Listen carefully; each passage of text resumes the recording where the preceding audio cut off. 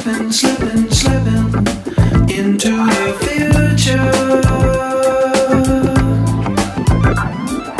Time keeps on slipping, slipping, slipping into the future.